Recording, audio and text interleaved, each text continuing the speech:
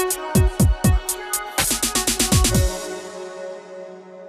Comme chaque année, des bénévoles d'exception sont honorés dans le cadre de la remise des prix Hommage bénévolat Québec. L'édition 2022 de la cérémonie tenue le 26 avril dernier a mis en lumière le travail de Danielle Sarrazin, laquelle a mérité le prix dans la catégorie bénévole pour la région de la Montérégie. Cette distinction vise à reconnaître les personnes âgées de 36 ans ou plus ayant particulièrement contribué par leur engagement social dans leur milieu à l'amélioration de la qualité de vie de leurs concitoyens citoyennes et concitoyens. Danielle Sarrazin œuvre dans le milieu de la déficience intellectuelle depuis plus de 25 ans. Elle a été particulièrement active dans les Jeux olympiques spéciaux et agit aujourd'hui à titre de directrice générale de l'organisme Droit d'y rêver. Le député de Beauharnois, Claude Reed, lui a d'ailleurs rendu un hommage à l'Assemblée nationale le 28 avril dernier. Danielle est avant tout une mère d'un fils vivant avec une déficience intellectuelle, une mère dévouée mais aussi une référence en matière d'inclusion sociale pour plusieurs dans ce milieu depuis plus de 25 ans.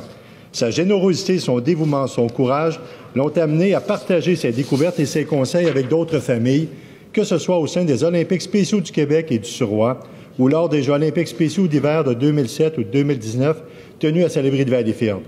Maintenant, directrice générale, directrice générale bénévole de l'organisme Droit d'y rêver, elle rêve justement d'une maison où les jeunes pourraient accueillir plus d'autonomie en ayant, en ayant accès à des activités valorisantes pour faciliter leur entrée dans la vie adulte. Daniel, ce grand rêve, je te le souhaite de tout cœur.